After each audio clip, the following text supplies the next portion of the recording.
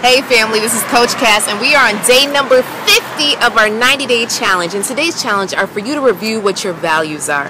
Oftentimes you will come across so many different opportunities and they may not sit right with you or you may act on them and later find out like, you know what, this wasn't a good choice. Why? Because they weren't in line with your values. So today, I truly, truly, truly want you to go over what your values are. And if you need a certain list, I could definitely give you a link. But today, my values are faith, fun, and love. Faith, fun, and love. Very, very simple. What are your top three values? That's my challenge to you today.